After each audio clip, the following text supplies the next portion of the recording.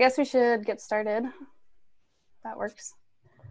Um, hi, everyone. Uh, thanks for attending another virtual IGPP department seminar.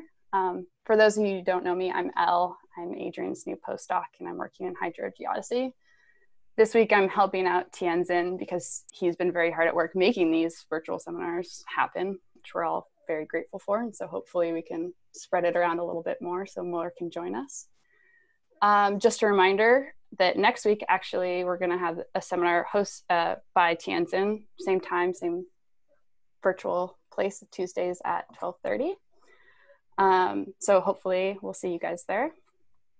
This week we're very excited to host uh, Jeff Freymueller from Michigan State. Jeff did his BS at Caltech before finishing his graduate work at the University of South Carolina. I was first introduced to Jeff uh, while he was a pre- professor of geophysics at Alaska Fairbanks, but he has since become the endowed chair for geology of the solid earth at Michigan State, which is a bit of a mouthful, but very exciting. Uh, Jeff has long been a leader in the field of geodesy, using remote sensing techniques to study a wide range of topics, including tectonics, earthquakes, GIA, and hydrology. And if you don't know Jeff from his research, you might know him since he served as the chair a variety of different consortiums during his career, including UNAVCO, SIGN, SCEC, GeoPrisms, TA, and of course is the director of Earthscope, just to name a few. Today, he's going to be talking about separating long-term tectonic motions, surface loading, and other sources of Earth deformation. So with that, I'll let Jeff take it away. All right, thanks. Uh, thanks. So um, yeah, I guess uh, as a professor, I've gotten to do all sorts of these lecturing to my webcam. Uh, so hopefully this will uh, work pretty well.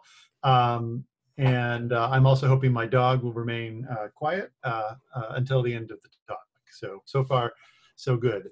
Um, so as you can imagine, if you look at the background behind me, the virtual background behind my little talking head there, that is actually a part of the Michigan State campus. since we can bend time, space, we might as well bend time and pretend that it's fall uh, in Michigan. Uh, and uh, in the main screen, of course, it's not Michigan because it has topography.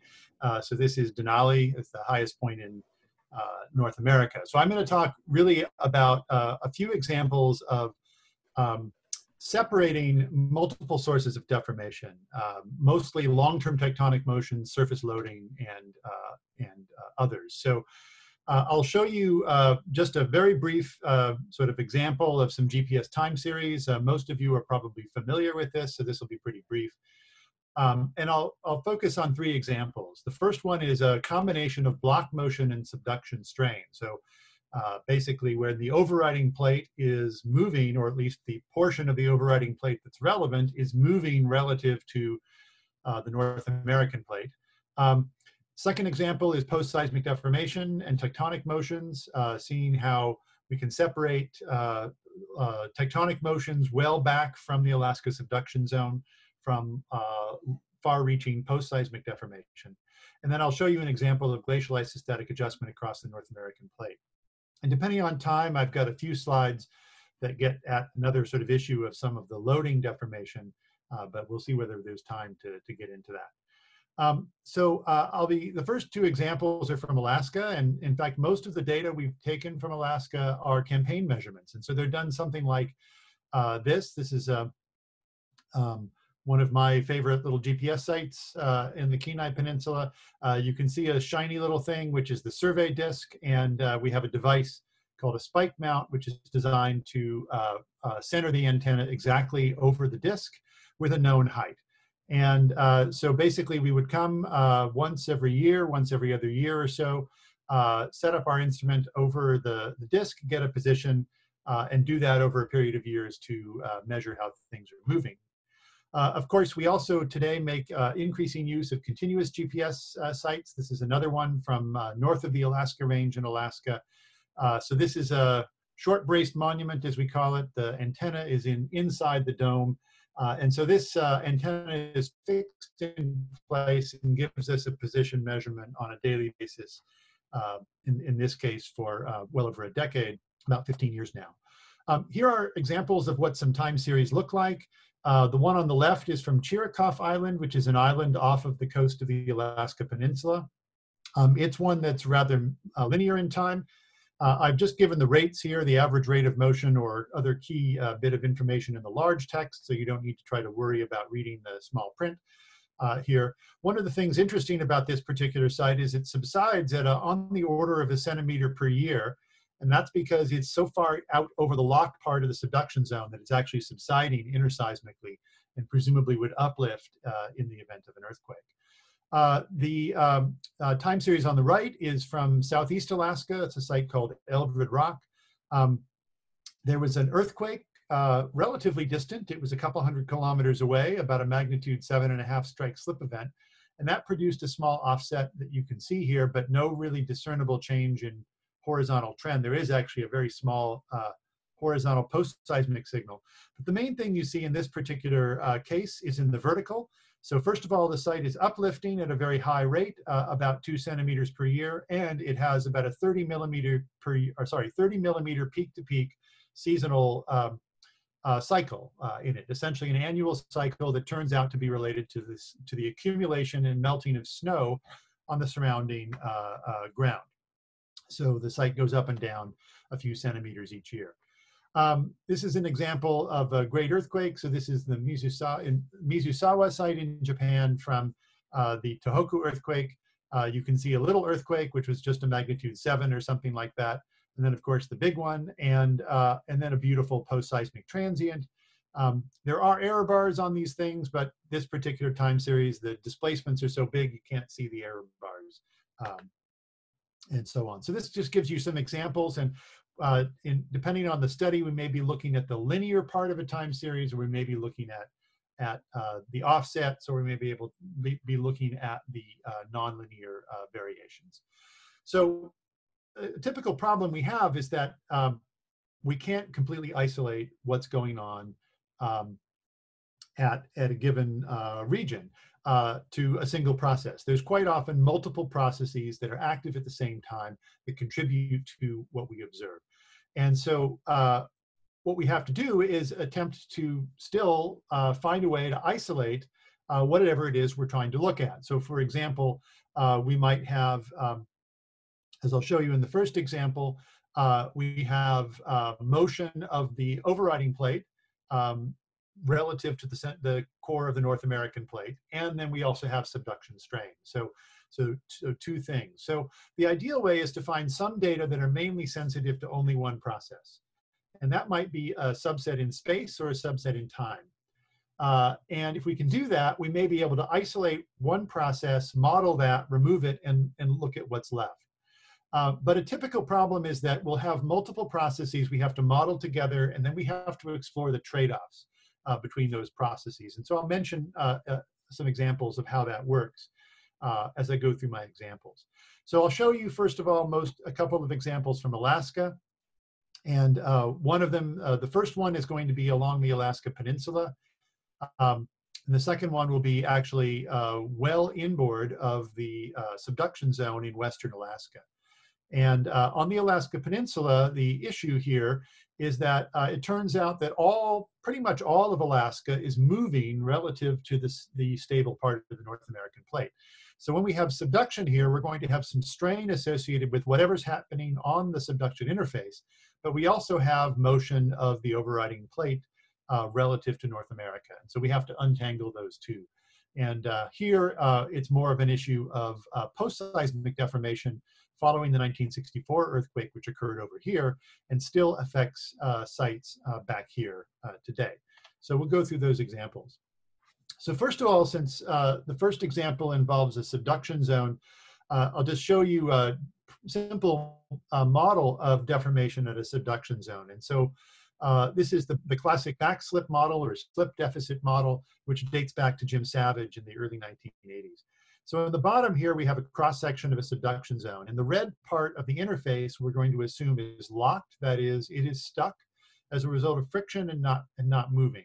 And then below that, we're just going to assume that the interface is creeping. And so in this very simple model, things are either completely locked, that is not moving at all, or completely creeping, that is moving at the plate uh, tectonic uh, rate.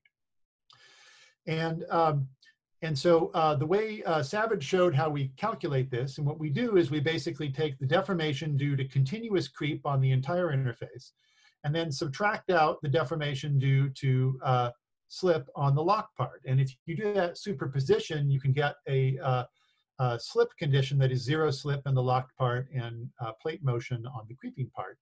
And basically, it turns out that um, in the subduction zone case, Savage argued that the deformation is going to be essentially entirely due to the uh, what we call the back slip or the the uh, the slip that is not happening um, on the locked part. And that's what uh, is calculated here using a simple elastic uh, dislocation model. So the red curve is the horizontal uh, velocities predicted. The blue is the vertical. Uh, in the vertical, there's an uplift peak, which is uh, out at, or centered over the down dip end of the locked zone, that is the locked to creeping transition. And there's actually a region of subsidence, which is out, well out over the locked zone. So sites um, offshore or on islands offshore might actually see that subsidence, um, depending on location. In the horizontal, we expect to see high velocities relative to the overriding plate uh, for sites that are out over the lock zone, and then this gradient. And the gradient, again, is centered over this lock to creeping transition. And then finally, the little kink you see in the horizontal, that's actually simply because we assumed it went from fully locked to fully creeping. If you just make that a gradual transition, this kink goes away and you get a smoother curve. But the bottom line is what we expect to see is high velocities out uh, closer to the trench, and then a, a gradient of um, velocity in the direction of plate convergence uh, as we move uh, back. Um, and so this is what that looks like in map view. Uh, I've complicated things a little bit in that I've put um, a heterogeneous model. So here we have a large locked region here we have a smaller locked region, and in between uh, and to the side here, we have regions that are assumed to be creeping entirely. And then the arrows show the predictions of uh, the uh, backslip model uh, for uh, deformation. And so it's quite easy to see if you picked any uh, distance you like away from the trench, that the, the vectors here are all larger than the ones over there, and those are larger than the ones in the middle. So just to first order the, the the velocities tell us something about how much of this interface is is uh, is locked and how much of the interface is creeping. Uh, and also the strain uh, that we see here is larger than the strain that we see over here. So, so both the velocities themselves or the strains uh, both tell us uh, information about how much of the uh, patch is locked. Now in this particular case, I've locked everything out to the trench, but unless we have sites out here, close to the trench, we don't really actually get a very clear picture of what's happening there. So whenever we do models, we're almost always assuming whatever happens out near the trench. It turns out not to have very much effect on our sites uh, on land. All right, so let me show you an example from the Alaska Peninsula. And here the green vectors are the observations. And uh, there are a couple of features that you can see. Uh, first of all, if we start over on this part of the figure, you can see the very large amount of contractional strain uh, on the overriding plate. Uh, and, and so that is exactly what uh, we were looking at on the map view uh, picture. But there's another thing that's different, and you can see this rotation of vectors uh, that's present uh, all the way through here.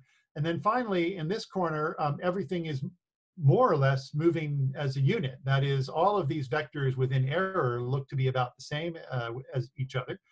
And they're moving in a trench parallel direction. So um, what we're actually seeing here is a, it turns out to be a very simple superposition in that the observation uh, shown in blue in the little inset is really just a combination of a uh, constant uh, velocity of the whole uh, arc relative to the North American plate plus a subduction strain signal that is variable in space.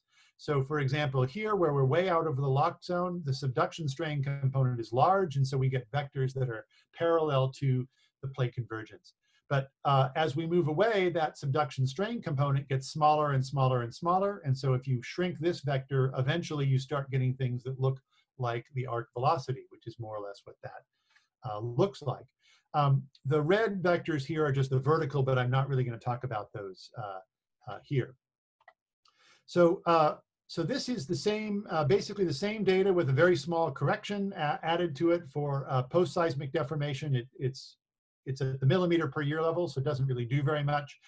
And what I've shown now in, in gray are the, uh, the block motion estimates that we uh, determined in uh, a paper with uh, my former student Shanshan Li a couple of years ago. So that's uh, that's the block motion. And what you can see is the block motion is essentially equal to the observations over in this corner. Uh, but here we see something uh, different. And if I simply subtract out the block motion, you can now see how the, the observations change. So subtracting out the block motion, these vectors go to zero.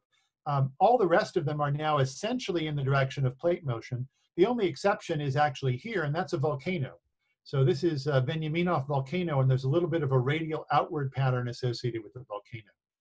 But other than that, now essentially all of the vectors are in the direction of plate motion once we've removed that constant uh, block motion. Uh, so if we uh, uh do an inversion uh, here where we, we can either do it where we estimate the block motion as well as the, the uh, coupling on the interface. In this particular one, we fixed the block motion and estimated basically the slip deficit on the interface. Um, uh, we got this model, which is from Li and Freymueller 2018.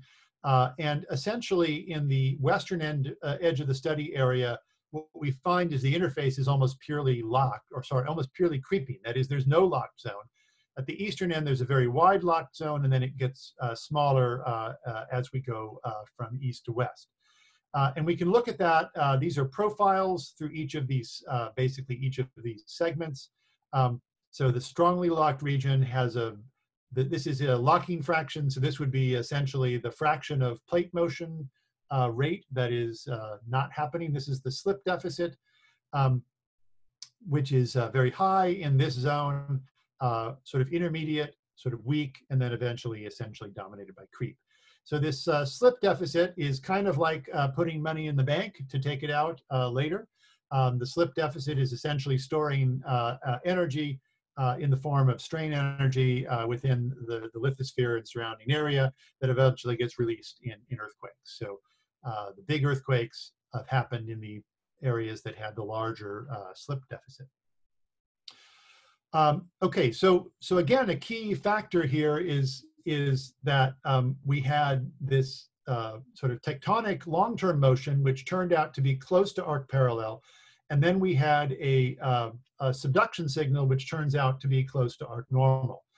Um, the reason we were able to separate those is actually because we had this region here where the subduction signal essentially goes to zero. And we could see that because there was no strain whatsoever in the overriding plate. Whereas everywhere else, you see a substantial uh, strain across uh, the Alaska Peninsula. And so that, that was really important in that without that, we would have actually had a huge trade-off between the block motion and the subduction uh, uh, strain component. But the fact that we had this region where the, the, um, the one of the signals, the subduction strain, was essentially absent, um, allowed us to actually uh, constrain the, those and separate those two signals much more effectively. So we'll take a look a little bit farther along strike. So this is the region I was showing you before. Um, and uh, what I want to show you here is how much that sort of rigid-like block motion may extend uh, farther out into the Aleutian uh, arc itself. So again, the blue, or sorry, the green are the observations and the gray are the uh, uh, peninsula block motions. So we have uh, data mostly from volcanoes further out the arc. But if I subtract out the block motion, uh, this is what we get. This is a Westdahl volcano. So we go from something that's a little harder to interpret to something that is a very nice radial pattern associated with the volcano. Akutan volcano actually has a bit of an asymmetric pattern. It's rather interesting. And these sites over here around uh, Dutch Harbor uh, and Makushin go essentially to, uh, to zero. So they are moving in a way that is essentially consistent with this peninsula block uh, motion that we uh, found uh, further uh, up. And so in fact, we can actually, as it turns out, constrain the peninsula block motion with this region, with the area around Dutch Harbor, and then in fact, even as far out to Atka in the central Aleutians appears to follow uh, the same, essentially the same pole of rotation, same rigid block motion for that region.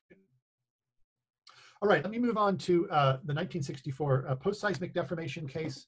Um, so, uh, so now we're uh, actually moving back up into the sort of main uh, body of Alaska. and uh, we'll look at the effects of post-seismic deformation from the 1964 earthquake.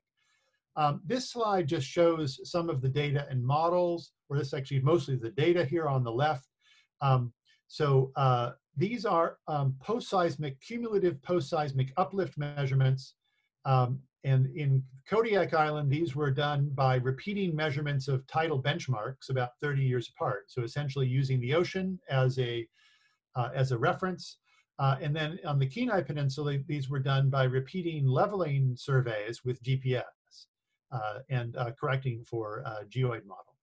So uh, what we observed was up to on the order of a meter of post-seismic uplift after 1964, concentrated in this band. Here is the rupture zone, so the uplift is concentrated just a little bit down dip at the down dip end of the rupture zone, um, which turns out to be dominated by afterslip uh, is the main signal there.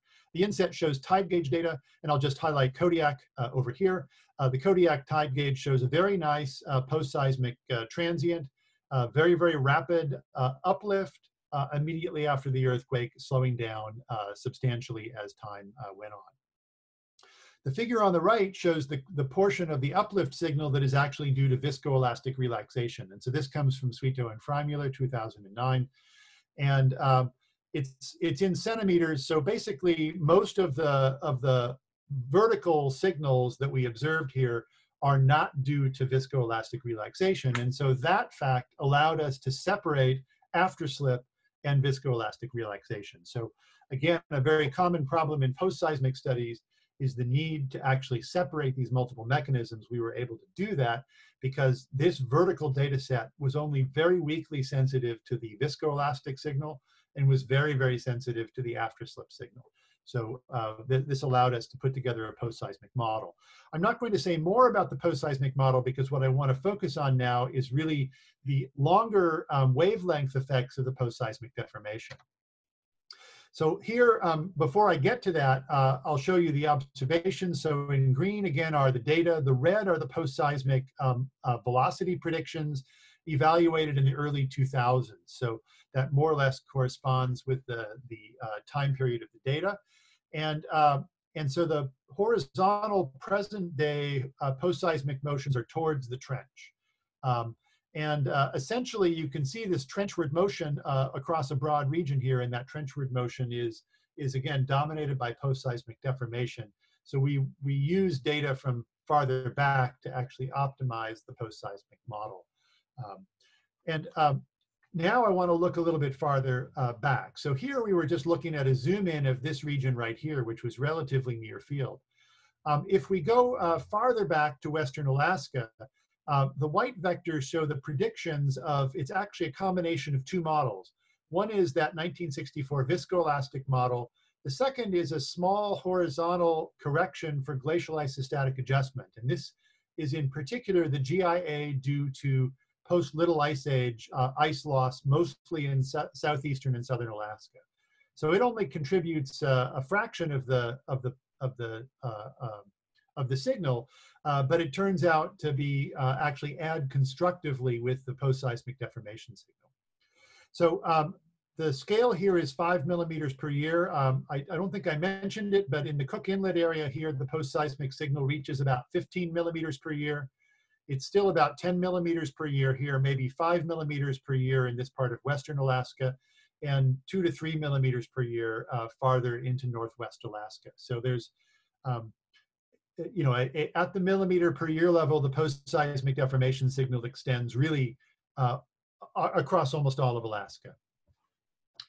Um, so now what we're going to look at are uh, data that we collected from Western Alaska and from Far Eastern Russia and we'll look at the velocities uh, as they stand and also how this post-seismic deformation essentially masks the, the actual tectonic signature uh, that are present in the, in the data. Even though this isn't a very big signal, it's big enough to actually kind of hide the post-seismic or uh, hide the actual tectonic signal.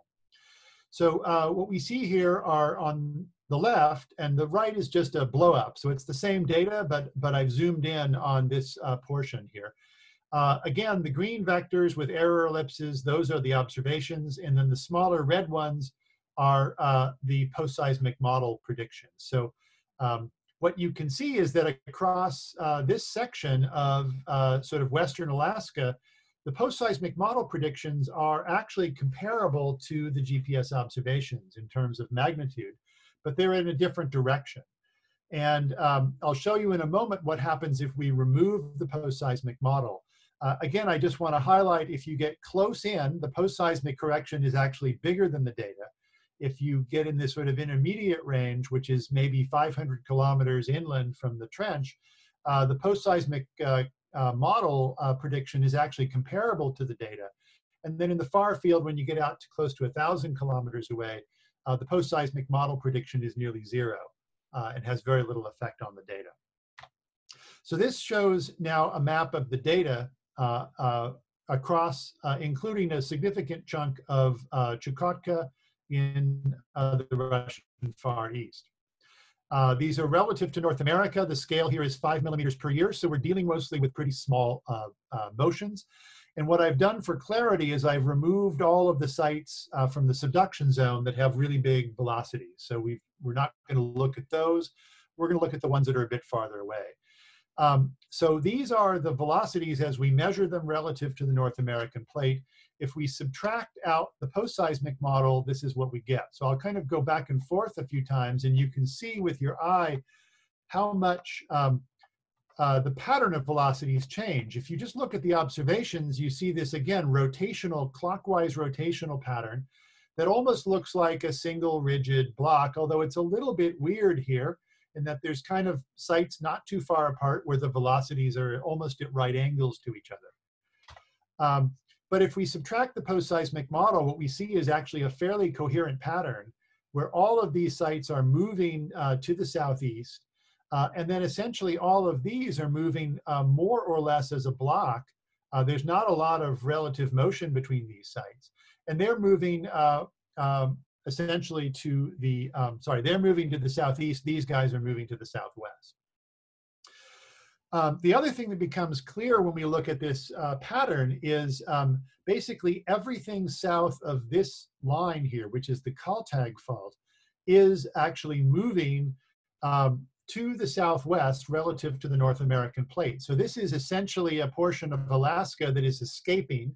It is being squeezed out of the uh, more collisional tectonic regime in uh, uh, South Central Alaska and being sort of squeezed out over the Bering Sea and uh, the Aleutian Arc. So, so again, with, without the, the post-seismic deformation essentially hid that sharp change.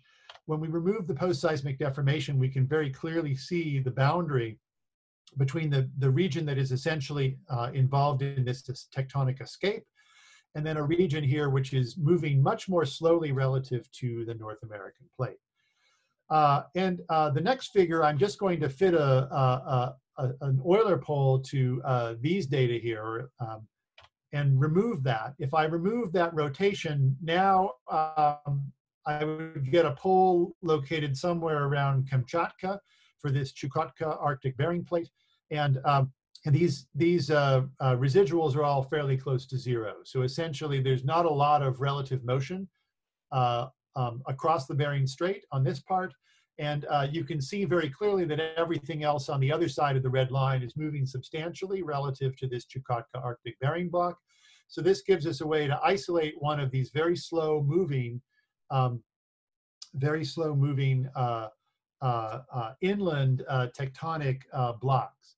And so this was uh, uh, an initial uh, inversion that we did in the preparation of putting together, I'll skip the details here for the numbers, um, but in, in preparation for a, a, model that Julie Elliott and I put together uh, as a block model, this is, it's still in press because there's some formatting issues that uh, Julie is trying to deal with with AGU. Um, but uh, it's a JGR paper that's still on the papers, early view papers.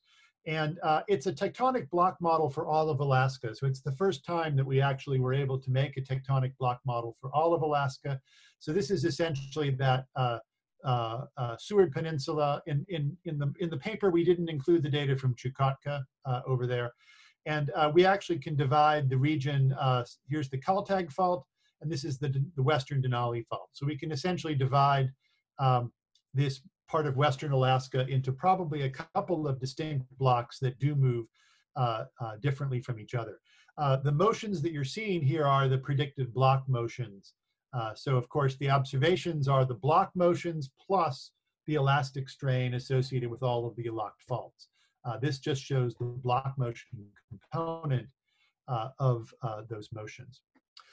So again, what allowed us to separate out um, the fact that we had a, a sort of a, a boundary here uh, between a, a, region that was essentially tectonically escaping and a region that was not, uh, was uh, uh, having a post-seismic model that was good enough to remove um, this, uh, this signal that was essentially masking the real uh, tectonic uh, signature.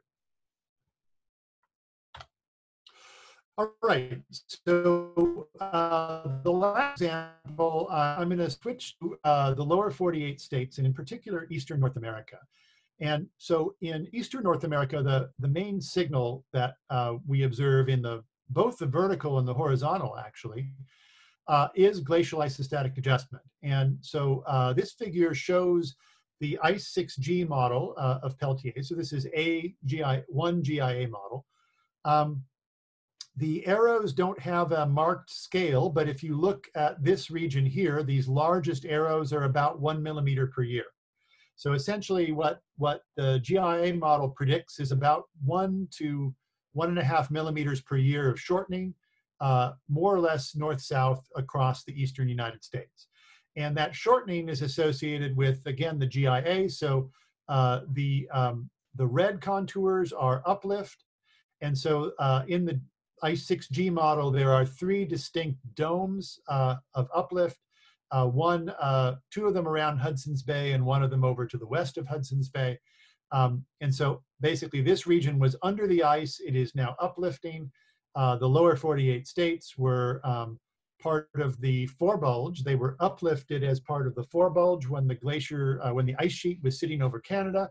Now that the ice sheet is gone, the forebulge is collapsing. And so essentially what we observe in the GIA signal is that um, outside of the forebulge, everything moves back in towards the load center.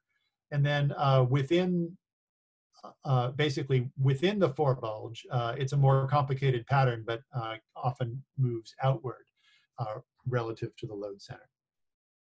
So what we're going to do is take a look at GPS data from uh, the eastern part of North America and look at how well uh, the GIA model and other signals are reflected in those uh, data. Okay, one other thing that needs to be uh, dealt with when we are dealing with very, very small motions is the possibility of a frame origin bias. And so this figure um, uh, comes from Kogan and Steblov, 2008. Um, and it was one of the first papers that sort of highlighted this issue. Um, it shows a very large uh, frame origin bias, five millimeters per year, but of course you can just rescale this if you want. If you think it might be smaller, which it certainly is, uh, the vectors would simply just change the label here. Um, and so uh, what they noted is that if, so we, we derive our velocities in the International Terrestrial Reference Frame. And every effort is made to ensure that this reference frame is geocentric. That is, that the origin of the reference frame agrees with the geocenter of the Earth. That turns out to be very hard to do. And in fact, one of the reasons it's hard to do is because the, the, um, the true geocentric constraints mostly come from satellite laser ranging, uh, not from GPS. GPS has lots of sites around the world. Satellite laser ranging has less than 25. And satellite laser ranging has a terrible geometry, uh, observing geometry. But um, uh, SLR is, is actually much more sensitive to the geocenter uh, than GPS, um, lacking some biases like uh, tropos uh, tropospheric, um, well, not tropospheric delays, but the antenna phase center models in particular. So there is a possibility that our reference frame is not truly geocentric. And if our reference frame has a small velocity relative to the geocenter, that actually maps into um, uh, strains on the surface of the Earth. And so that's what this figure shows here is that if if the um, if the geocenter uh, is or if the reference frame is moving uh, along the spin axis relative to the geocenter, um, that would induce a uh, z component uh, velocity, a bias to every site. And uh, for a site at the equator, that would be a horizontal northward or southward motion. For a site at the pole, that would be a vertical uh, motion. And so uh, basically, a um, what that means is that if we actually um, have an error in our reference frame or in any correction model that we apply to our data, um, we can actually induce an apparent strain uh, on the surface of the Earth. And it's a very long wavelength signal. Uh, and so basically that would be associated with the frame origin bias. Um, Donald Argus suggested uh, about a half a millimeter per year bias in ITRF uh, 2008, um, uh, mostly along the spin axis. So that is mostly along the z-axis uh, would be the, uh, the bias. So, um, so this is not a very big effect, but um, when you're dealing with millimeter per year signals, a 0.5 millimeter per year bias would be a big deal. So um, so what we're going to do uh, now is we're going to test models for North American plate rigidity uh, with various models for internal deformation removed. So I'll consider the I6G GIA model and also this frame origin bias. And so what we'll do is we'll remove different combinations of these models from the data, evaluate the models based on misfit and also um, uh, residual, uh, basically residual, uh, how, how, many sites can be um, can actually be fit by a rigid plate model. So again, GIA produces a deformation of the plate, even in the tectonically stable part of the plate.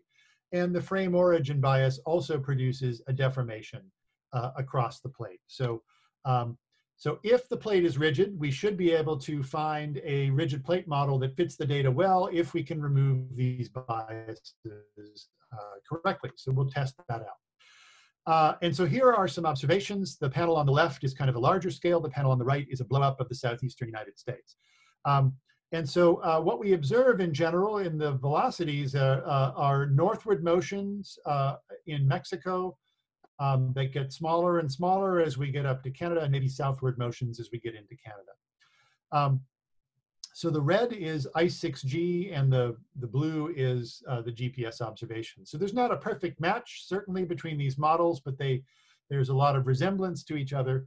Um, so let's look a little more systematically at um, what happens when we remove uh, these models. So what we'll do is we'll first of all take ITRF velocities by themselves. We had 300 sites across Eastern North America. And um, if we uh, fit a rigid plate model to all 300 sites, we get a WRMS of almost five millimeters per year, which is pretty terrible. Um, and uh, if we uh, remove the geocenter, we get a much smaller effect. If we actually remove uh, the geocenter bias and I6G, we get a, an even smaller uh, error. Um, we also did an outlier uh, detection, and so um, the outlier detection was essentially throwing out uh, all sites, an iterative process, throw at any site with a three sigma uh, residual and then reinvert.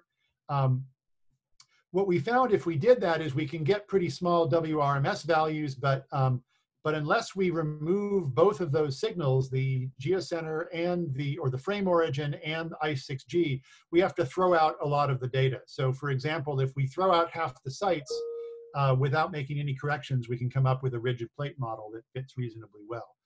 Um, none of these uh, poles are radically different, but they're all subtly different. And uh, the, the best model is, uh, is ultimately this one, where we remove uh, a frame origin correction of a half millimeter per year based on Argus's result, plus removing the I6G uh, model. And uh, what we find then is that the outliers that are remaining in there are actually randomly distributed in space whereas in all the other cases, the outliers that were rejected were not randomly distributed in space. Okay, so this was from a paper that was published uh, last year, uh, Ding and others. Um, and uh, so these are the residuals and um, the um, the uh, blue triangles are the, the outliers that were rejected. So again, they're pretty randomly distributed, except for these, which I would say are probably systematic. Um, and these are um, more or less near the former ice margin, so they probably reflect uh, some issues in the, um, in the uh, uh, ice model itself.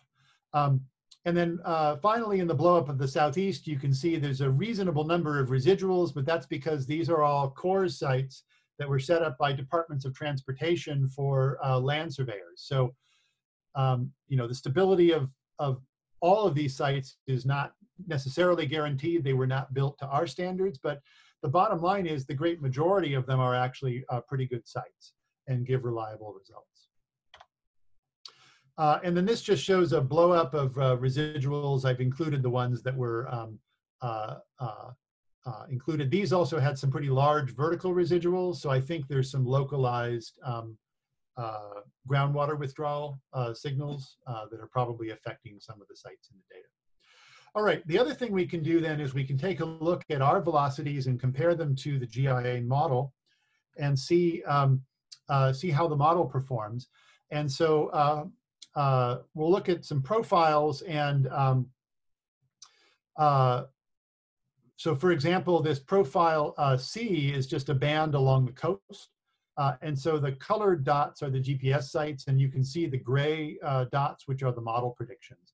So along the coast, um, there are actually quite a few sites that are um, below the model prediction. And that's actually, uh, we think, um, because of groundwater uh, extraction. So uh, previous work had suggested that that was true.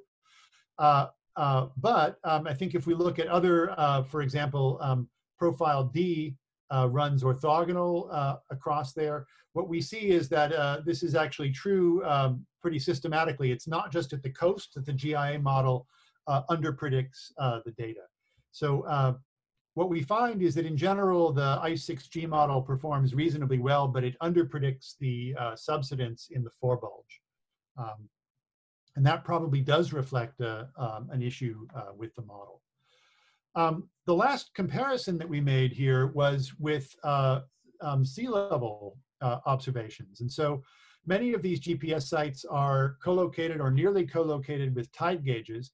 And um, and so we can take the vertical motions with GPS, we can take the tide gauge, which measures ocean surface relative to land, and we can take sea surface height anomalies, which are measured by altimetry. And uh, if all of these data are consistent, we, we should basically get um, global average sea level rise plus, um, um, you know, plus these spatial variations, either if, if it's a spatial variation in the ocean, it should be accounted for by the, the sea surface height. If it's a spatial variation in the vertical land motion, it should be accounted for in the GPS. And so we should get um, essentially uh, values that would agree with, um, with uh, sort of global average sea level rise. And so the blue are just the, the GPS uh, uh, subsidence rates. They're all negative for the most part across the, the mid-Atlantic region. If we take the GPS plus the tide gauge minus the sea surface height, we get the black uh, um, ones. And so the, the red are just GPS tide gauge without correcting for sea surface height. And it's pretty noisy, but uh, we do end up getting uh, recovering an average rate that uh, is in pretty good agreement with what the tide gauges would uh, give as a, a, global average sea level rise over the tide gauge period. So a little less than two millimeters per year. Um, if we did not make our geocenter corrections, so our GPS velocities here are not corrected in this figure for GIA, but they are corrected for the geocenter. Um, if we didn't correct for the geocenter, we would end up with a too slow rate of global average sea level rise. So we think the geocenter correction is actually improving our agreement between the GPS and the tide gauges. Okay, the last thing I want to look at here um, that's uh, relevant to this is um, we estimated in that process uh, the um, an angular velocity for the North American plate. And I've now evaluated our model for North America and compared it with another model, uh, the GEODVEL model from uh, Donald Argus. Um, and I, I did so on a um, not uniform set of sites. So the reason you don't see much from California is because, sorry that I've got a dog here uh, nudging my mouse uh, uh, arm, which is um, her way of getting my attention. Uh, anyway, um, the reason you don't see much in California is I just didn't happen to compute it there. Uh, but this uh, shows our estimate of the North American uh, uh, plate motion minus the GEODVEL, uh, and the scale is about here is a millimeter per year. So across the lower 48, these two models are in very, very good agreement. but you can see systematic rotational differences that reach about a half a millimeter per year uh, in the eastern United States. Uh, and they get bigger when you go over to Alaska. So, so these are just basically the difference between two different North American models. And uh, in this particular case, the differences are relatively small. Um, however, another um, uh, uh commonly used um, North America model is NA12, which Geoff Blewitt uh, derived a few years ago. Um, so NA12 was actually two different things. Um, there was, first of all, a regional reference frame. That is a velocity model that you could use to align solutions with a regional frame. And that's perfectly fine. There's nothing wrong with the velocity model. Uh, but then also a, um, uh, an estimate of the North American plate motion. And uh, what Geoff did actually is he used data from just the southeastern United States to estimate the rigid plate motion. But that's actually where the GIA model shows there's a strain. And so that biased the plate model. So some of the PBO products, for example, are in this NA12 reference frame. The scale of the difference between our estimate and NA12 is here two millimeters per year. So really it's at the two millimeter per year difference level at California. That's actually big enough to matter for some tectonic things. And the difference between the two frames is up to like five or six millimeters per year in Alaska. And in this particular case, I, I can pretty much say the problem is NA12 because um, if it wouldn't really make very much sense if we uh, um, uh, used NA12 velocities for, uh, for Alaska. But uh, for other parts, the, the difference is a whole lot smaller. So again, um, anytime we're doing something, if we're doing a tectonic problem in, in California, we're trying to remove North America if there's any sort of issue in how we define North America, that actually maps into uh, what we're uh, trying to do. Um, I think I don't have uh, time for these last couple slides, so I'm going to skip uh, this uh, last few slides. I'll go straight to the conclusions. Um, uh, okay, so basically the conclusions are that multiple deformation processes are commonly mixed together in our data. And, uh, and so when that's the case, we have to separate them somehow. And uh, again, if the ideal case is to find a subset of data that isolates one single process. The examples I showed you were subsets in time, uh, sorry, subsets in space, or uh, as I mentioned in talking about the 1964 model, it was vertical versus horizontal, um, allowed a subset in direction and component. Um, or a sequential process of model improvement. And so, you know, we often have to do ultimately some degree of a sequential process of model improvement, removing one model for something to isolate the effects that remain. Uh, and then sometimes we actually have to iterate around this, this loop a few times uh, before we truly get it right. Uh, ultimately, most of our data are includes signals from long-term tectonics, from earthquake cycle, and from surface loading. Uh, and we ultimately need to model all of these uh, data and remove those effects uh, from the data before, uh, you know, to truly um, get at the parts that we are trying to uh, determine. So I'll go ahead and end there, and um, that uh, should leave some time for some questions. Awesome. Thanks so much, Jeff. Uh, if anyone has any questions, feel free to unmute your mic, or if you want to just drop it in the chat, we can read it for you. Ignacio, you raised your hand. Yeah, I have a question. Yeah, I start to get used to use these these icons, more polite. So yeah, thank you very much for the for the talk. Very interesting and clear. So I have a question related with the with the measuring with the coastal measurements that you have in one of the slides.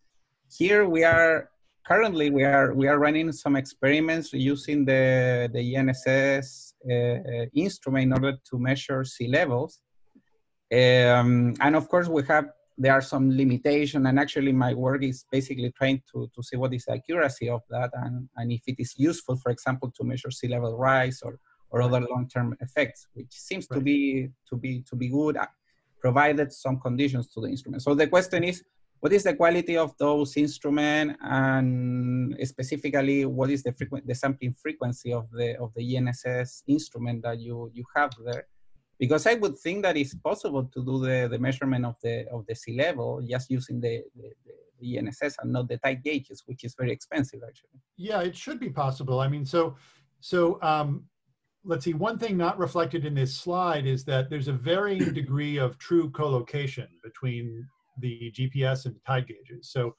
um, in some cases, we have uh, GPS sites that are as much as 10 or 20 kilometers away from the tide gauge. We had to make some kind of a uh, of a cutoff as to what we would consider. Um, but uh, so these are just velocity or the GPS velocities um, here are based on uh, the, um, you know, they're based on sort of standard rate, um, standard daily position solutions. So we're just lumping all the data together. Um, the um, the the quality of the sites on the east coast is a little bit mixed um, there's a lot of building sites um, mounted on top on buildings. Um, the majority of those actually perform pretty well, but then there are definitely some that don't. So, so there's there's definitely a, a quality control. If you are um, using PBO sites, for example, uh, the overall the noise level will be much better. What we did in this study, I didn't mention that, but we um, we used a colored noise model when we did our velocity fit. So we're basically using a white plus flicker noise uh, model to get a more realistic uh, noise spectrum. And so uh, we are getting vertical velocities that are in the vicinity of 0.6, 0.7 millimeters per year um, for sites that have a long history. So, um, so that's, you know, that's, uh, I, I, think in some cases maybe down to about 0.5. It's hard to get much lower than that because of the colored noise component in the data. And those instruments or some of those instruments are have a, a clear side. Do you know if they are, have a clear side to the to the sea? So so uh, in this particular case, I don't know. Um, some of them actually do. Uh, what you could take a look at. Um, um, I mean, Kristine Larson's portal that she's still got running mm -hmm. uh, might have identified uh, some of those. Many of these sites do not actually see the water. So um, so the majority of these sites are actually located near the tide gauge, not truly at the tide gauge and not in a place where, where you would have direct um, measurement of, of the water. Okay. Thank you, Jeff. Mm -hmm. uh, hi, Jeff. Very nice talk. Thanks. Um, I have a question on the post-seismic deformation. Uh, what can you explain the, the difference between after slip and uh, viscoelastic uh, relaxation? Sure. Okay, so um, I have a figure to do it uh, very easily, but um, so uh, so the the um, first of all the physical um, physical mechanisms. Uh, after slip is basically continued slip on the fault plane. So um, so what we see um, mostly after big earthquakes in terms of after slip is that the the deeper extension of the fault plane, down dip of the co-seismic rupture, uh, creeps uh, in a transient fashion for um, usually a few to several years uh, after the uh, after the earthquake. So um, so that's that's what afterslip is physically. Uh, viscoelastic relaxation uh, in the subduction zone case is dominated by um, viscoelastic relaxation within the mantle wedge. So basically relaxation of, of the co-seismic stress changes. Uh, uh, and it's dominated by the mantle wedge for uh, the subduction case. There is actually a um, contribution, uh, further contribution from the uh, mantle beneath the slab as well. So, so essentially everywhere that there's viscoelastic mantle and a significant stress change that's co-seismic, we'll see uh, some flow of the mantle and that produces the deformation signal. Um, let's see. So if I go here, um, the present day, the red vectors here are the present day velocities. And these present day velocities are almost entirely um, the result of the viscoelastic relaxation of the mantle.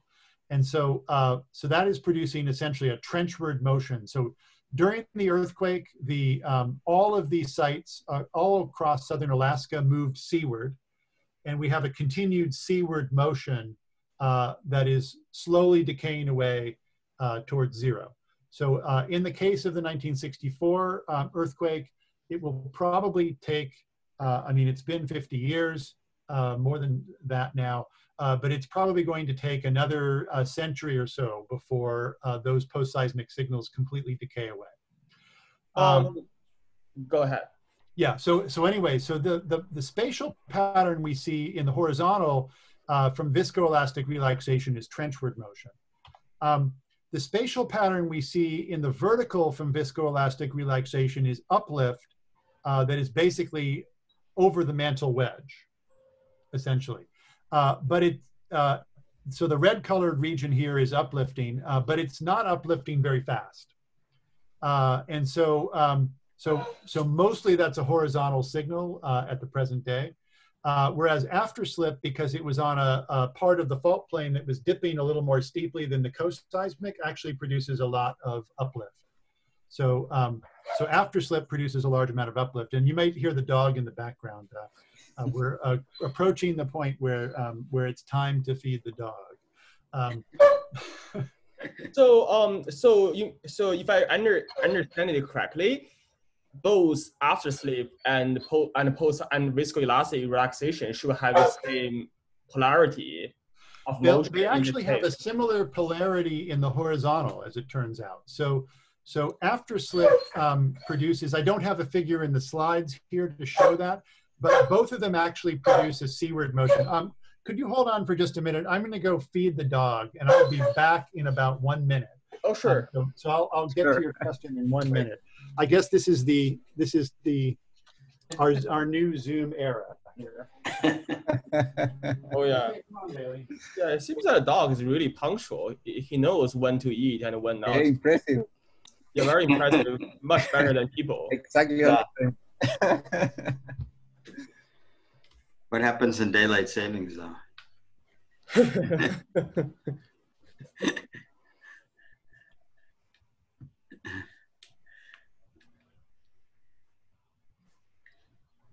I was going to ask him what the viscosity is, is for that viscoelastic model because that's a long time period, mm-hmm. a couple hundred years.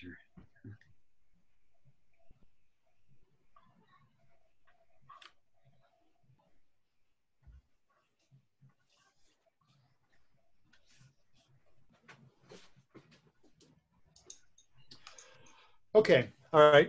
Sorry about that, but um, That's yeah, fine. the dog has actually never been happier because I am her primary person as far as she's concerned, and I'm home all the time now. So,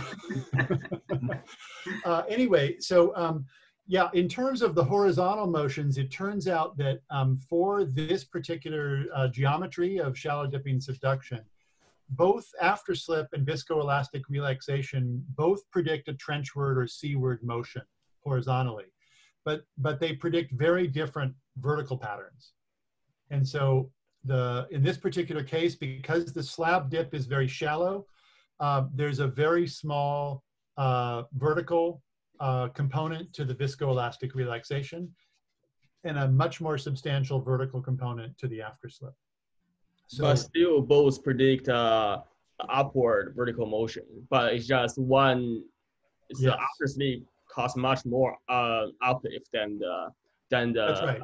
Than That's the, right. Yeah. So in this particular case, the the viscoelastic model, this is contours. The contours are in centimeters, and this is contours of the total uplift over 35 years. So the total uplift over 35 years from viscoelastic relaxation was only on the order of about 15 centimeters.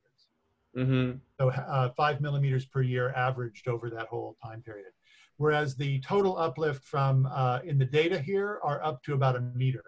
Oh, and so, um, hmm. and so the the after slip uh, um, vertical motions were several times larger than the viscoelastic uh, motions, and what that meant is we could come up with a we could we could as soon as we had a reasonable viscoelastic model, we could actually subtract that out, and the errors in the model would only be at the couple centimeter level, which was comparable to, you know, less than the errors in the data. And so essentially, um, it was very easy to isolate the component due to after slip. I see. So do those two processes also happen at very different time scales?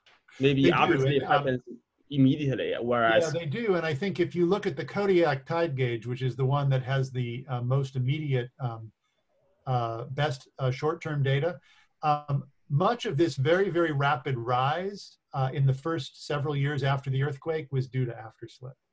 I see. And so then the the slow um, the afterslip is essentially gone today. There's there's no essentially no afterslip going on today, 50 years later. So it it um, for this big earthquake, the afterslip uh, was dominantly in the first several years.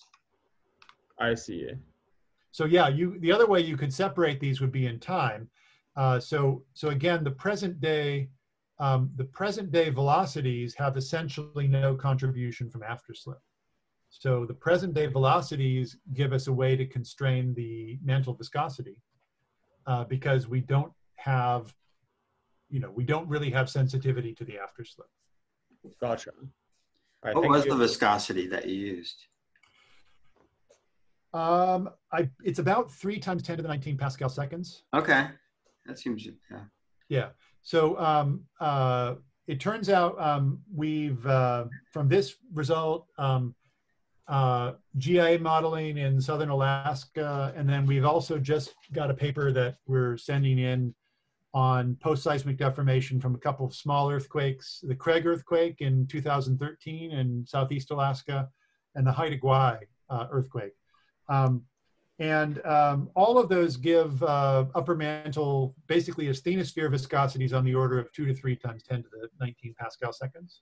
So they're pretty consistent, even with different mechanisms are actually giving pretty consistent um, uh, viscosity models. And that agrees with the unloading from the glacier, local glacier unloading? It does, yeah. So, so the local GIA, um, there's um, the the different models have different trade-offs. So um, the GIA models, um, both of them are sensitive. There's a bit of a trade-off with lithospheric thickness, but Yeah. that doesn't trade off too badly with uh, asthenosphere viscosity. The GIA models have a stronger trade-off between asthenosphere thickness and viscosity. Um, whereas the post-seismic models aren't really sensing the bottom of the asthenosphere very well, so they don't really, they don't really Yeah, they, they don't really sense that, but they do sense the viscosity. And they, they all basically agree within a factor of 50% or so. okay. So, I mean, that's pretty good for viscosity because Yeah. most things depend on the log of the viscosity. So, Right. so that's a pretty small uh, disagreement. And that gives you that 200 year time frame or whatever for the, Yeah. So the relaxation time is on the order of 20, 20 years, 25 years um, with that. Uh, and uh, the is big enough that it takes several relaxation times before it goes away completely. okay.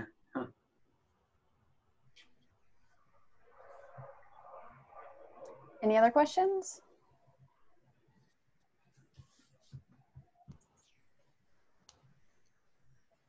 I guess with that, uh, we'll thank Jeff again for his Thank you, Jeff. great talk. Yeah. Thanks. Thanks, everybody. Thank you, Jeff. Can't We- find my Can- clap. Somebody will have to send me a picture of the beach. and uh, we hope to see everyone here next week for Tianzin's talk. It'll be same time, 1230. Um, and it'll be announced on the typical emails for those of you guys who aren't part of the IGPP. Uh, it'll be posted on that uh, Scripps website that Ignacio yeah. put